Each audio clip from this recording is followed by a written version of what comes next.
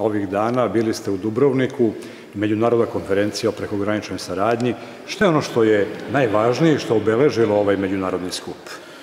Savet Evrope je ukazao čast Euroregionu Nišava i pozvao da svojim znanjem, iskustvom i svojim dosadašnjim radom prezentuje svoje pozitivne iskustva i praksu u prekograničnoj saradnji.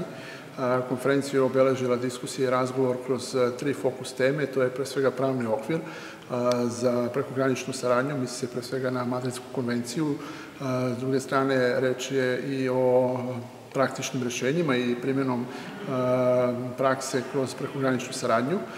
Takođe je vrlo važno što je domaćin ove konferencije bio grad Dubrovnik koji je na tromeđi Hrvatske, Republike Srpske i Crne Gore. Naše iskustva koja smo mi njima preneli su jako dragocena za njih, pošto su to gradovi koji imaju vrlo malo projekata iz prekogranične saradnje, ali su vrlo zainteresovani da uče.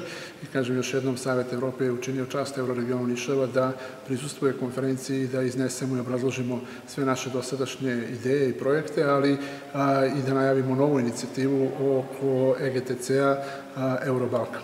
Da li to znači da smo mi na neki način ispred njih kada je reč o prekograničnoj saradnji?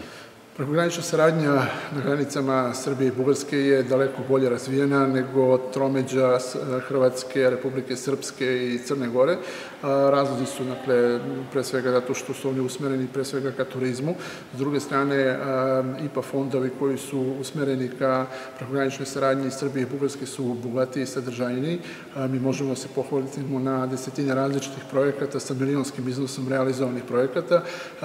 Euroregion Išava koji je lider ovom delu Evrope što se tiče institucionalizovane prekogranične saradnje, imao je, kažem još jednom, to zadovoljstvo i čast da kroz diskusiju i kroz rad u tri panel grupe prezentuje ono što je važno reći, ali izazove i probleme sa kojima se prekogranična saradnja između Srbije i Bugarske suočava, kako bi ta iskustva i znanje mogli da implementiraju i Herceg Novi, i Trebinje i Dubrovnik.